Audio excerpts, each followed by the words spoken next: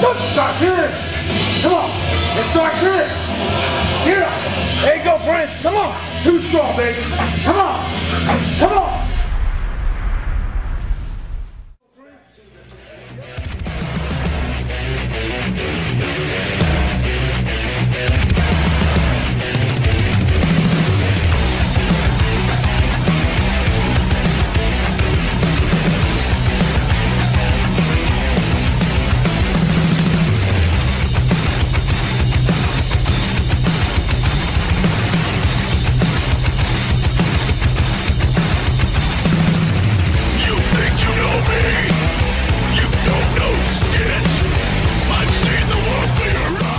Branch Warren, IFBB Pro and Team MD member.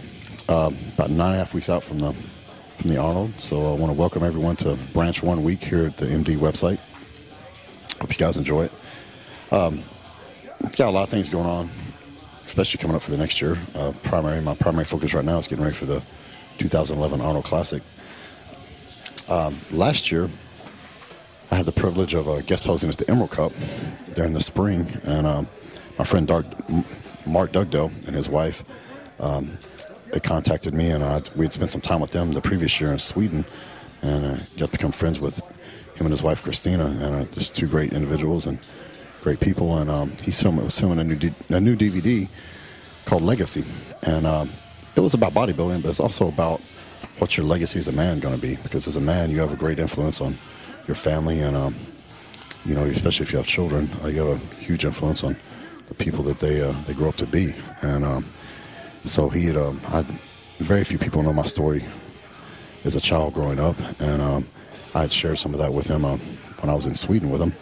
So he, he contacted me and uh, asked if I'd be willing to uh, come and speak to a prison and a group of pris- prisoners there.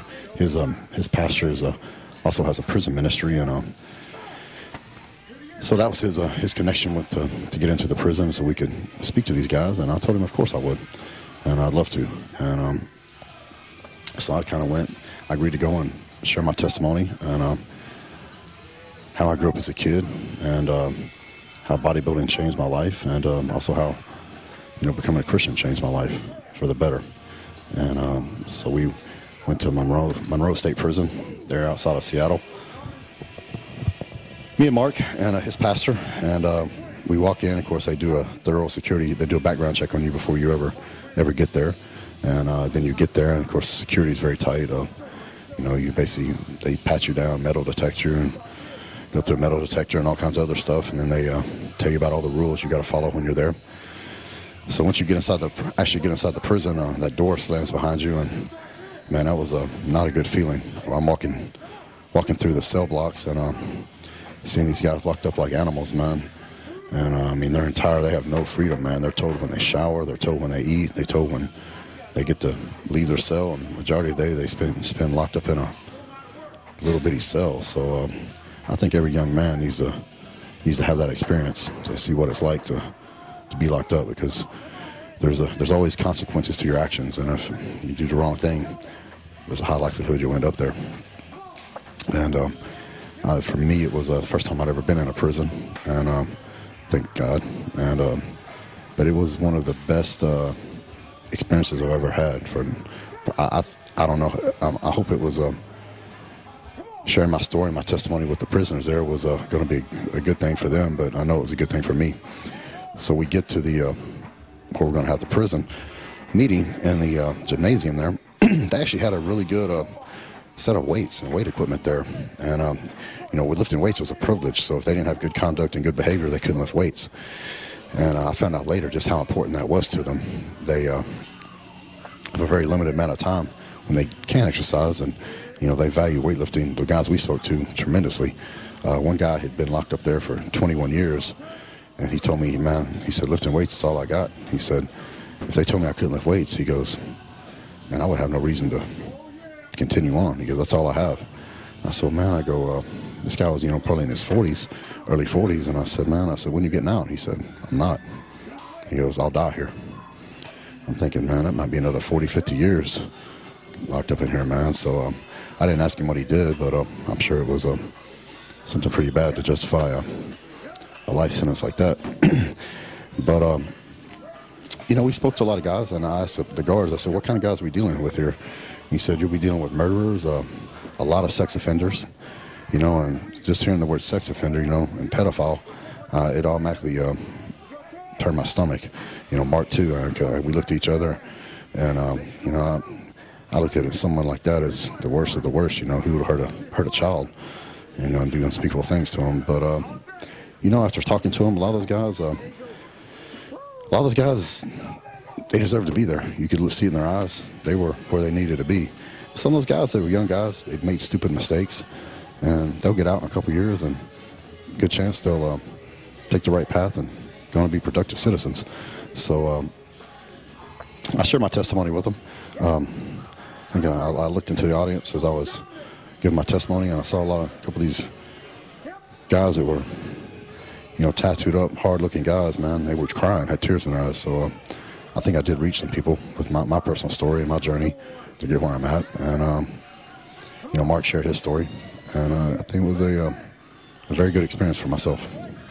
You know, usually uh, a lot of years uh, after the Arnold, the Olympia, I'll take a couple weeks off and uh, kind of rest. this year I didn't. As soon as I touched down back in Dallas from the Olympia, I went to the gym and started training again. Um, obviously, I backed down the intensity and the weight a little bit, but um, I didn't take any time off. Um, and I kept on training. Um, you know, people said, "Well, what's the reason behind that?" I just uh, didn't want to take any time off, man. I'm, you know, you, you get so close to your ultimate goal, and uh, I didn't want to take any time off. And um, you know, at this point in time, I think I feel I feel much worse when I don't train. So uh, you know, I actually feel better physically and mentally when I do train, and you know, I love to work out. So. Um, I didn't take any time off, and I think that might have helped me stay a little bit leaner too. Uh, I, I, started preparing for this Arnold Classic, and um, you know when I sent George the pictures when I was, I don't know, 13, 14 weeks out, you know, he commented that I was the leanest I'd ever been, you know, being this far out.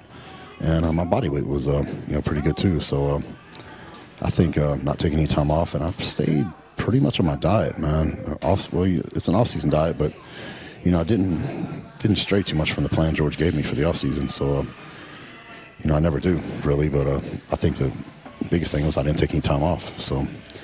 I had, a, had I'm starting from the best place I've ever started f- from before, you know, preparing for big contest you know, I get a lot of questions, um, you know, comparing me to Dorian Yates, and um, you know, I get asked a lot if I've ever tried the one set to failure, you know, per exercise style of training that he did, and um, yes, I did try that for a while.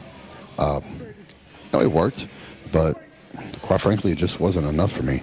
I mean, the workouts were so short, and um, you know, they're super intense, but my workouts are already super intense, so um, I like to train, and uh, you know, I don't mind doing multiple sets, man. Uh, you know, I don't mind taking two or three sets of an exercise to failure, and uh, it works for me. So, you know, if I if I stop exercise before I and I still have two or three reps left, then I just cheated myself.